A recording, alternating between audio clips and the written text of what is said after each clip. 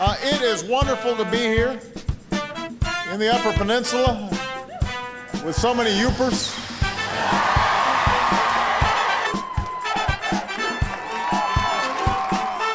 Welcome to Cat Chat alongside Sean Kelly. I'm Pete Francis, and we've got a great show for you today. Mylan Murphy will be our guest, and it was a huge weekend for the NMU hockey team. But first, Sean, President Obama was in Marquette. You actually got a chance to see him downtown. That's right. Uh, I was not one of the lucky 900 students invited to see him speak at Vandament Arena, home of the NMU volleyball team. But I did go a little bit of sightseeing downtown Marquette, and I saw him uh, leaving Donckers, so staying in a crowd of about maybe 25 people. He waved at us, and you know it, we weren't overly close, but it was still you know an interesting experience to see President Obama in Marquette. Yeah, President Obama was here to discuss the wireless initiative. Now, our show is a really kind of a good example of what he was talking about being an internet show. We've got people who watch from all over the country and the world, you know, in places like Sweden and Germany and countries like that. Yep. Now, we were there, so let's take a look. For our families and our businesses, high speed wireless service, that's the next train station. It's the next off ramp. It's how we'll spark new innovation, new investment, new jobs. And you know this here in northern Michigan. That's why I showed up. In addition to it being pretty and people being nice. For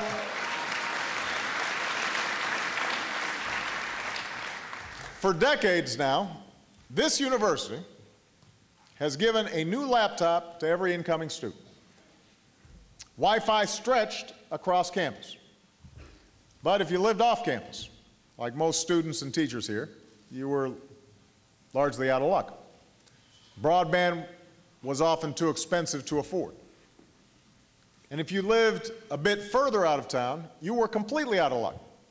Because broadband providers, they often won't build networks where it's not profitable, just like they wouldn't build electrical lines where it wasn't profitable. So this university tried something new. You partnered with various companies to build a high-speed, next-generation wireless network. And you managed to install it with six people in only four days without raising tuition. Good job. Good job, Mr. President.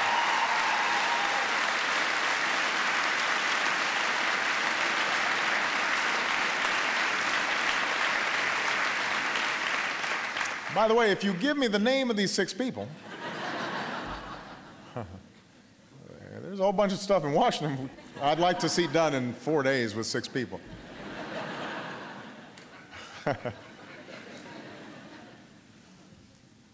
so today, this is one of America's most connected universities, and enrollment is near the highest it's been in 30 years. And what's more, and this, this, this is what makes this special, you told nearby towns that if they allowed you to retrofit their towers with new equipment to expand your network, then their schools, their first responders, their city governments could use it too. And as a result, police officers can access crime databases in their cars, and firefighters can download blueprints on the way to a burning building. And public works officials can save money by monitoring pumps and equipment remotely. And you've created new online learning opportunities for K through 12 students as far as 30 miles away. Some of whom some of whom can't always make it to school in a place that averages 200 inches of snow a year. Attention Wildcat fans! Vango's, the longest running pizza parlor in Marquette, is a proud supporter of Cat Chat. Located on 3rd Street, Vango's is your neighborhood bar and restaurant with takeout and delivery. Open 7 days a week, Vango's specializes in only the freshest ingredients. From the dough to the pizza sauce made from scratch, Vango's uses the freshest vegetables for all pizzas, soups, salads, and specials, and has the best homemade food in town. Vango's, come taste the difference. I just saved $44 on three of my family's medications with the MKS prescription saving card. Stop into your nearby Snyder Drug and start saving with the MKS prescription savings plan. Hey Wildcat fans, for the latest news, updates, and online exclusives, check us out on Facebook at facebook.com slash NMUCatChat. Hi, I'm Justin Florek, and you're watching Cat Chat. Welcome back. Now, Sean, last weekend, it was a disappointing series for the Wildcat hockey team, but this weekend, they came up with a huge sweep on the road. That's right. It's a big series against Michigan State. The Wildcats came in three points ahead of uh, Michigan State Spartans and playing in their own barn. It was going to be a tough game. Last matchup between NMU and their former head coach, Rick Comley. And the Wildcats really performed well. Friday night, they started the scoring early. Tyler Gron, he had a big weekend. He started off in the first period with a goal with about three minutes left in the period. State would tie the game up before the end of the first. It went to the second where the Wildcats took a 3 to 1 advantage, and they would add one more. It was 4 to 2 final Friday night, as Jared Coreau had 50 saves. Now, Saturday night, it was a lot better as the Wildcats really took hold. They, they were down 4 to 1 early. Uh, Coreau did get the start. He was pulled for Ellingson, and the team responded wonderfully. Tyler Gron had a natural hat trick for uh, four goals on the weekend. He did have an assist also Saturday night. The Wildcats, fueled by Tyler Gron, came back for a six to five victory. Yeah, talk more about the play of Tyler Gron. This was obviously the biggest weekend he's ever had. That's right. He came in leading NMU in offense and goals and uh, points. So it was really a big weekend. He's really set the pace for the offense.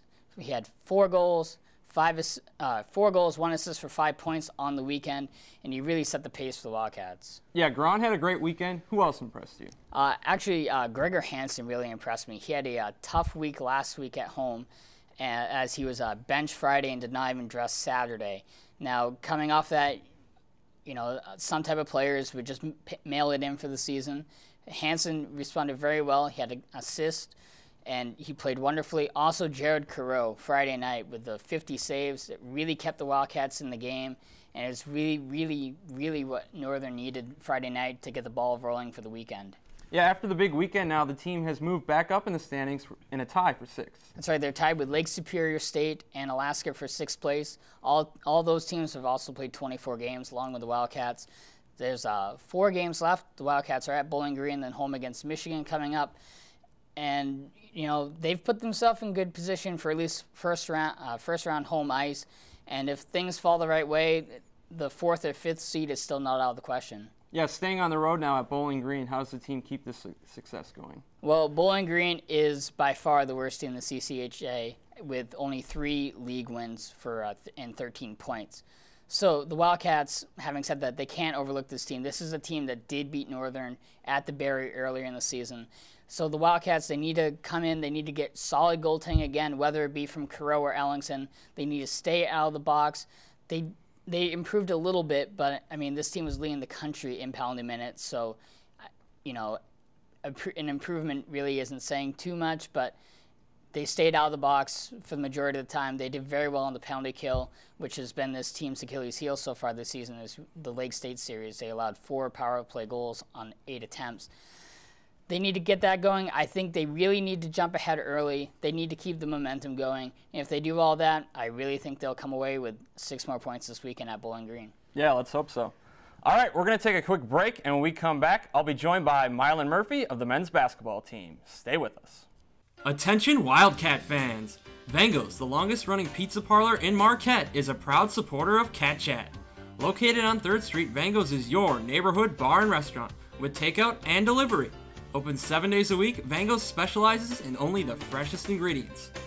From the dough to the pizza sauce made from scratch, Vangos uses the freshest vegetables for all pizzas, soups, salads, and specials, and has the best homemade food in town. Vangos, come taste the difference. Can't make the big game? Well, Cat Chat's got you covered with live updates from NMU home games on Twitter. Follow us today at twitter.com slash NMU Cat Chat. Welcome back. Joining me now is Mylan Murphy of the men's basketball team. Mylan, thanks for coming on the show. Oh, thanks for having me. I appreciate it. All right, uh, tough loss on the road this past weekend, but the team has their last two home games of the season now coming up this weekend at the Berry. What do you guys need to do to finish the season strong? Well, actually, you just said it. Um, we just need to finish. You know, every game that we've played this year, um, for the most part, we've been right there. We just couldn't finish at the very end and you know pull out the win. So the biggest thing for us, you know, these next two games is just finishing. You know, we're I know we're going to be there. That's not the question. It's just you know finishing the game out strong and pulling out the win. Now, this season, Doug Lewis took over as the head coach. Um, for players like yourself who were on the team last season, what's been the biggest transition with Doug as the coach?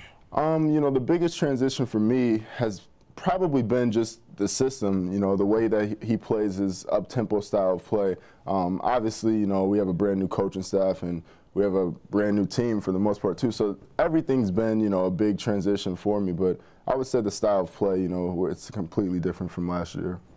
Now, away from the court, you've done a lot of entrepreneurial work, specifically with websites. Can you tell us a little bit more about that? Yeah, um, well, I was in eighth grade and I had started a clothing line, um, and then from that is when all the websites, you know, sort of developed. Um, I, my first website I started, I think I was a freshman in high school or something like that, and now I have five total, but um, there's only about three that I really, you know, run every day. Um, Strive For, which is an organization, Dorm Rumor, uh, which is it's like an online publication where I interview different student athletes around the country um, that play, you know, obviously any type of sport, but it focuses on what they do outside of their sport as well. So what other visions and goals that they have beyond, you know, basketball, for instance. And then uh, I have also I, uh, which is I, I, do a lot of different things in there. I blog, I vlog my day. I mean, it's just a lot of different things. Just trying to have my hands in, you know, as much as possible for the most part.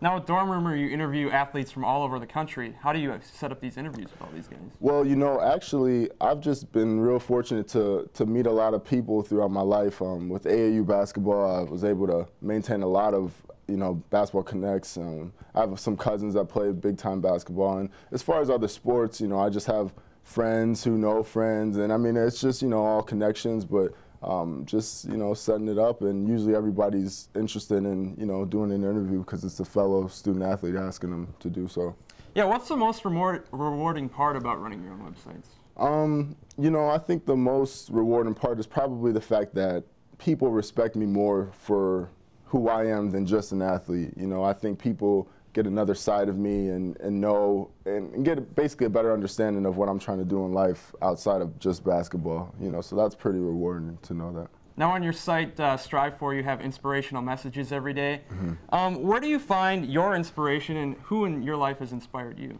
Um, you know, my inspiration, all those words that I, I, either make them up that night or that morning, so it all comes from me. But uh, my inspiration is just from all the things that I've been through in my life. Um, some people who have inspired me uh, would be LeBron James, number one.